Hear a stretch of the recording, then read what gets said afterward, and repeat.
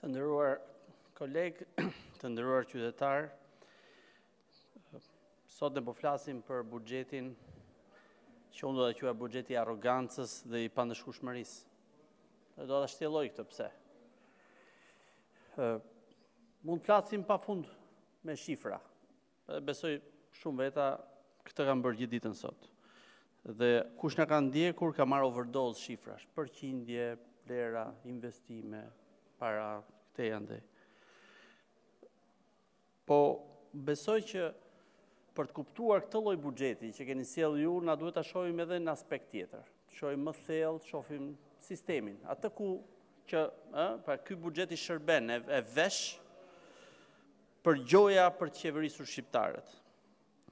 Tani, disa pyetje të thjeshta mund t'i bëjmë, sepse e dëgjuam kryeministrin që krenohet që ka dyfishuar buxhetin. Pyetja është, po mirë, pensionet, pse s'dyfishohen? Rrogat e mësuesve, mjekëve, infermierëve, pedagogëve, pse nuk dyfishohen? Dëgjova një koleg këtu, socialist që tha më herët sot që është dyfishuar shifra për pensionet. Sigurisht, është rritur numri i pensionistëve, se popullsia në këtë vend po plaket. Jo po plaket si në vendet e tjera, po plaket se ikin të rinjtë, e prej, do t'i pagosh, do t'i pagosh ato para. Por pensionet nuk janë rritur. Kështu që na duhet të shohim pak më thellë në sistem, në këndvështrimin tim. Unë nuk jam ekonomist, unë duhet ta shoh këtë që po ndodh me këndvështrim tjetër. Dhe e gjitha në fund fare përkthehet në para, në taksa, e për rrjedhojë në buxhet, në shpenzime që do të bëjnë. Unë e shoh shumë të lidhur me atë ditë kur u vunë minat për sistemin e drejtësisë. Ra kolona e sistemit të drejtësisë, dhe atë ditë ra edhe soleta ku bazohet siguria ekonomike dhe juridike e këtij vendi. Ajo që më pas na bën që të prodhojmë, prodhojmë, të gjenerojmë para, të mblidhen taksa dhe këto taksa më pas të shpërndahen siç e do ligji. Atë ditë, pikërisht atë ditë vulosëm, ndërkohë që binte një mënyrë normale qeverisje, kemi vendosur, u vendosën themelet, nga kjo mazhorancë këtu, themelet e një qeverisjeje të deformuar, një qeverisje që herë tjetër e kam quajtur qeverisja e pandëshkueshmërisë. Askush sot nuk ka më frikë. Sepse koncepti i ndarjes së pushteteve ra. Ne sot kemi pushtetet e thyera.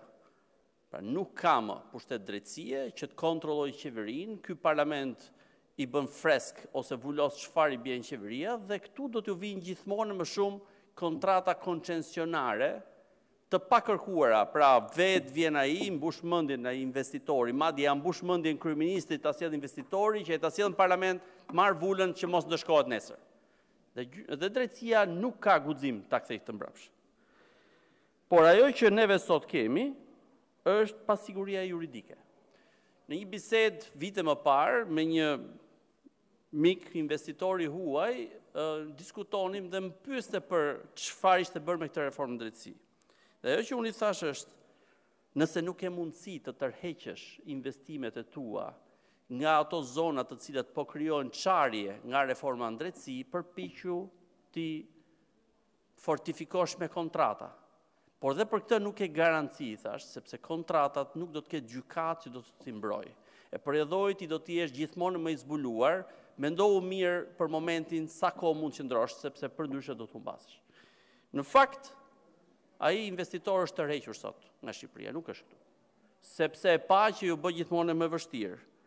Tani të gjithë ata të huajt, Dhe shqiptarët që erdhën në vitet dy mijë e dhjetë, dy mijë e dymbëdhjetë për të investuar paratë e tyre në një vend që dukesh që po, po, po prosperonte, në një vend që një vit mbas anëtarësimit në NATO, që dukesh i sigurt, erdhën dy miliard euro investime direkte të huaja, sot janë në kurth në këtë vend. Janë në kurth.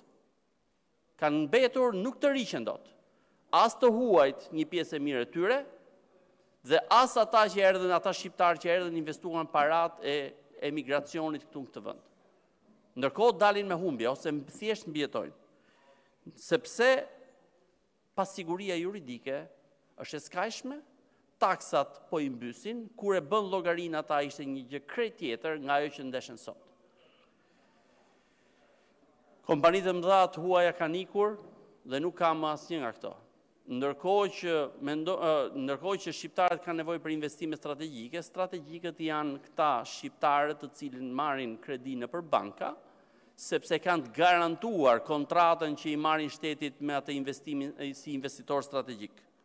Po sot sot në këtu në këtë vend nuk ka treg pune se nuk ka njerëz. Nuk ka treg se nuk ka konsumatorë dhe për më tepër ata që janë nuk kanë para. Tani me këtë treg ne përpiqemi që do ta shtrydhim fort për të prodhuar para se do të pagojë 120 milion eurot e koncensioneve. Pra, po kalojmë nga një, pra ju kini arritur të bëni të transformoni nga një ekonomi që bazohet tek kompeticioni në një masë të caktuar, në një ekonomi që bazohet tek koncensioni. Ka ajo që ipet drejtpërdrejt nga qeveria. Pra, deformimi është maksimal. Për fat të keq e gjithë kjo ka bërë që shqiptarët përsëri të kthehen në imazhin mediatik botëror si Boat People, njerëzit e varkave. Dikur kapërcenim kanalin e Otrantos, sot kemi kanalin e Lamanshit. Dhe sado të përpiqen dashamirësit që të përpiqen ta zbusin këtë, ne jemi në faqet e të gjithë mediave. Po kush i paguan taksat në qoftë se këtu s'ka njerëz? Kush do pagojë për pensionet në vitet që vijnë? Ndërkohë që popullata e plakur vazhdon e rritet dhe këtu s'ka njerëz që të paguajnë. Ky mekanizëm i pandëshkueshmërisë që keni vendosur ju ka transformuar jo vetëm modelin e zhvillimit nga një model i cili bazohet tek konkurrenca, por te koncensioni, siç e thashë, por ju keni transformuar edhe korrupsionin nga ai korrupsioni në fillimet tuaja, që ishte galopant, e thonin raportet e ndryshme ndërkombëtare, sot është nivel tjetër, është nivel grabitqar. Është nivel ku paratë shpërndahen me gjoja investime strategjike te klientët e qeverisë nëpërmjet VKM-sh. Pra nuk keni frikë, prandaj është model pandëshkueshmërie ky që keni ngritur ju. Sepse gjykata nuk guxon, gjykata kushtetuse që dikur rrëzonte, sot është në rastin më të mirë një fantazmë e asaj që ka qenë dikur, Askush nuk e vret më mendjen për jurisprudencën kushtetuse të dikurshme, këto konceptet e ndarjes pushteteve e tjerë sot nuk ekzistojnë më, por ju nuk keni frikë as nga gjykata sistemi normal gjyqësor, se e keni kapur, e keni tuajin, dhe gjithashtu ai SPAK-u sot e ka provuar deri më sot që nuk është fare aty ku pritesh.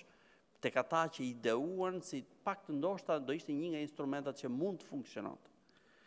Kështu që në këtë situatë ju duke mos patur fare frikën për atë që do t'ju kushtojë nëpërmjet votës apo nëpërmjet sistemit të drejtësisë, keni deformuar mënyrën e qeverisjes në këtë formë. Pra, paratë shpërndahen me llokma tek klientët e qeverisë që në fakt i kthejnë përsëri paratë tek ju. O në fushatë elektorale ose në xhepat tuaj. Me offshore apo nën dorë nuk ka pikën e rëndësisë. Kështu që e gjithë ky buxheti që kemi parë, po që po diskutohet sot dhe do të vazhdojë të diskutohet në ditët në vijim, ë edhe kur të arrijmë në votimin nen për nen, nuk është gjë tjetër veçse një pasqyrë që pasqyron një trup të deformuar, të një ekonomie që lëngon por që nuk ka asgjë të shëndetshme për shqiptarët. Do të mblidhni akoma më shumë para, por ato nuk i shpërndani tek qytetarët. Do t'i çoni tek koncesionet, tek PPP-t, do t'i çoni në të gjitha ato drejtime që ju duhen, që juve të përpiqeni të bleni dhe të kapni zgjedhjet e ardhshme, por duke qenë se shqiptarët këtë e shohin edhe pa pasqyrën e këtij buxhetit, Ata do vazhdojnë të ikin sepse këtu ka humbur shpresa. Po ikin njerëz të cilët kanë para, të cilët kanë biznese, po i shesin. Po pikërisht kjo është ajo gropa e madhe që në harkun e 9 viteve që nga momenti i parë ku thatë asgjë, ju nuk keni parë ende asgjë, ja, ja ku e kemi sot. Gjithë e shohim që me këtë, me këtë lloj qeverisje, Ky vend nuk ka të ardhme. Sa më parë t'ju rrëzojmë juve, duke rrëzuar atë që ju ka kthyer në kukulla pa gojë, aq më shpejt çliron shqiptarët. Faleminderit.